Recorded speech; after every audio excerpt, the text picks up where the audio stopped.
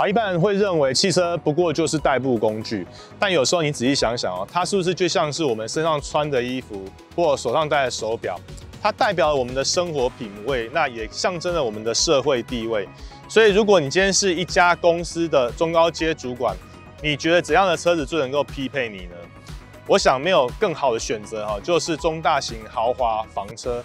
那在最热门的两百万级距中，Lexus ES 就是最畅销的车型。它为什么卖的那么好啊？因为它的外形高级气派，内装宽敞。豪华，我相信有坐过 ES 的人呢，应该都会知道它的后座空间奇大无比，尤其是膝部空间啊，简直是可以媲美短轴的欧系豪华旗舰房车啊！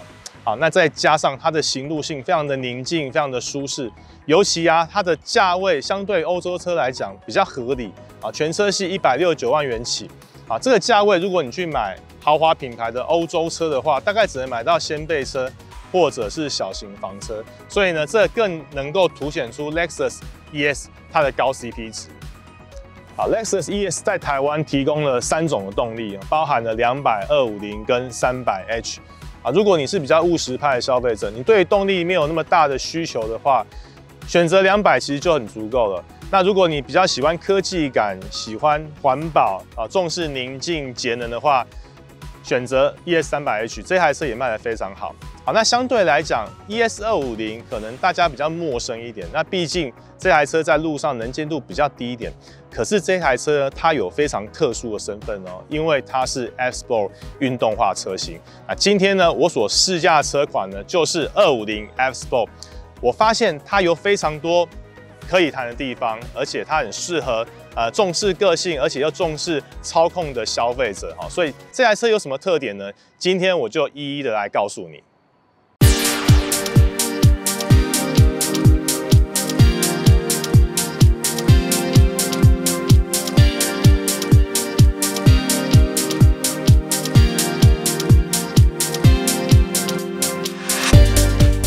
好，既然是 F Sport 运动化车型啊，我们就从它的外观开始看起。我想没有人会否认哦，新一代 ES 它的确是一台很新潮、动感、帅气的四门房车。尤其它的大型纺锤造型水箱护罩呢，非常的霸气。在两百跟三百 H 车型上，它采用的是放射状的设计。那至于 X Sport 车型，它就换上了网状的水箱护罩，那搭配上两侧的进气坝也是网状的造型。所以看起来会更加的动感。另外，你再注意一下它的水箱护罩边框呢，已经换上了亮黑色的镀铬材质，再加上叶子板有 S p o r t 专属的灰饰，还有专属的十八寸铝圈以及车尾的尾翼。好，所以这些元素都是它的特色。我相信在众多的 ES 车阵中呢，你就会显得格外的与众不同。好，所以从这台车上我们可以看到，Lexus 其实它的设计概念。跟许多的欧系车厂是不一样的。如果你今天买一台欧洲车，那选用了跑车化套件，那往往外形是非常的凶悍，甚至车尾还设计了 diffuser。好，但是 ES F Sport 呢，它还是保留非常浓郁的日式人文的气息。所以，如果你们今天痛调相符的话，我觉得它会非常符合你的胃口。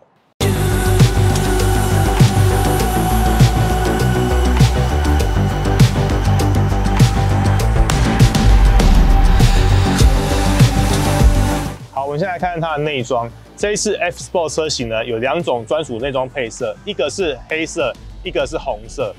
刚好我们今天试驾车就是红色的内装，所以它的座椅、车门饰板还有车内各处的缝线呢，都采用了红色的元素。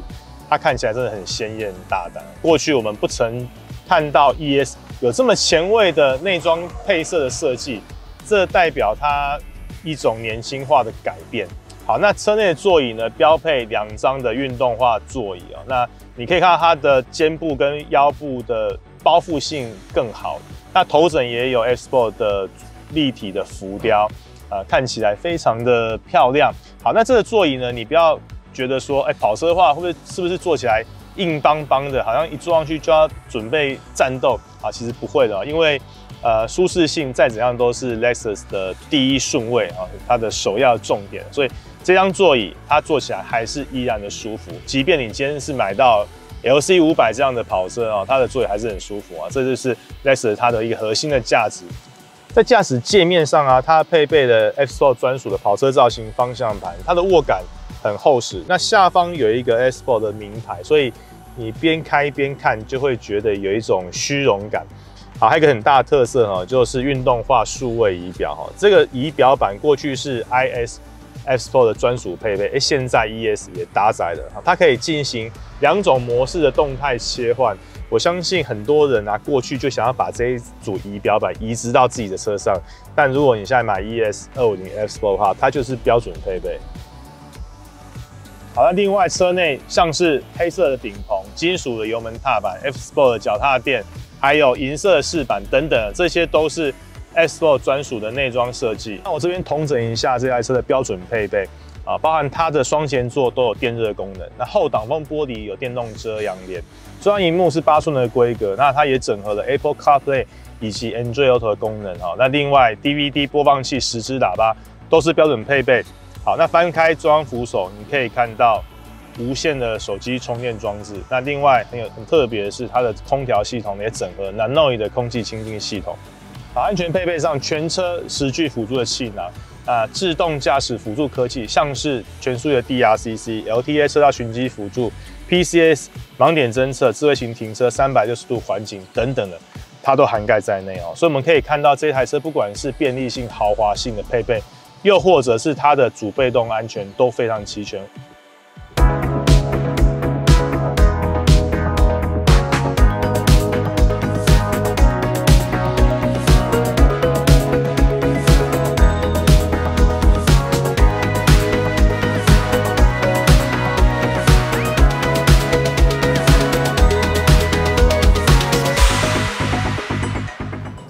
既然是 X Sport 运动化车型，那它的操控性一定要有别于一般版本，否则没有办法跟车主说得过去吧？好，所以这台车它搭载了专属的跑车化悬吊，呃，其实你不用担心它会过于硬朗，影响舒适性啊。就像我前一段所讲到的，舒适性呢，永远是 Lexus 它的核心的精神啊。所以这一组悬吊，它是在舒适性的基础之下加了一点硬韧性啊，所以让它的行路回馈。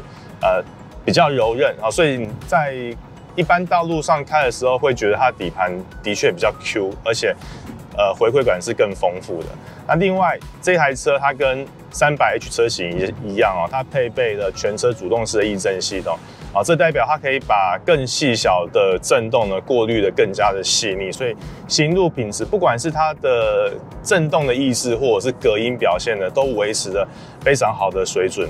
事实上，跑一趟山路啊，你就会发现它对于操控性、运动性的确是有帮助的。尤其是在连续弯道之后啊，可以发现车子的回稳速度的确是更快。那也因为它悬吊的硬度增加了，所以你比较高速入弯的时候，可以发现呃前轮的指向性更好，车头的反应是更敏捷的。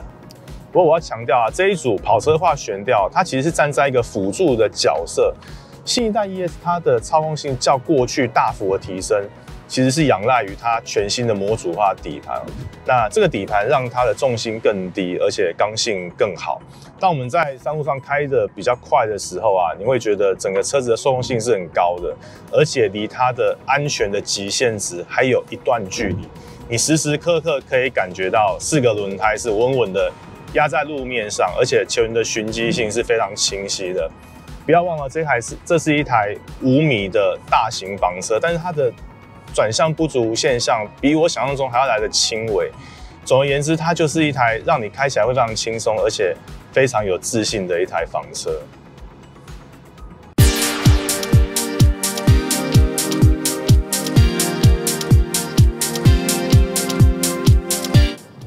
ES 二五零它搭载就是二点五升引擎，在自然进气再加上 D4S 多重燃油喷射的设计之下，它有两百零七匹的最大马力以及二四点八公斤米的最大扭力。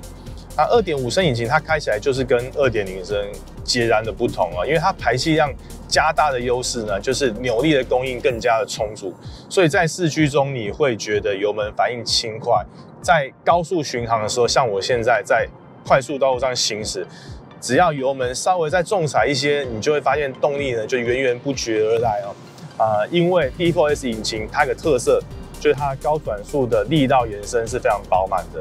加上自然进气引擎的特性，线性而且顺畅。还有另外一个重点就是 ES 二零它搭配的是八速手自排变速箱。有别于 CVT 无段变速，强调是无缝接轨般的加速过程。那八 AT 它自然就会有换挡的反应，它就会有转速上的变化，声浪上的抑扬顿挫，所以这台车开起来会让你更有节奏感。其实这就是一种驾驶乐趣的来源。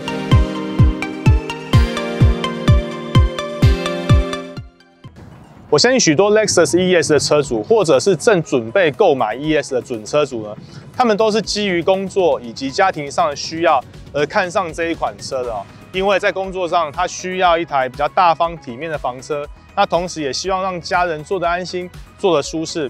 啊，今天我花一点时间呢，体验它的操控性，还有它的高速的巡航的表现。我发现，在换上了跑车化悬吊之后，的确是让它操控性加分，开起来平稳而且舒适安全。那另外，二点五升引擎再加上八 AT 变速箱的配置，呃，不管是声浪，不管是它的再加速的感受上，的确都有把那种驾驭的氛围做出来了。所以，如果你的性情、你的性格的痛调是相符的话，那么我觉得你去看 ES 的时候，记得要把二五零 S Pro 纳入考虑，我想它是不会让你失望的。Thank you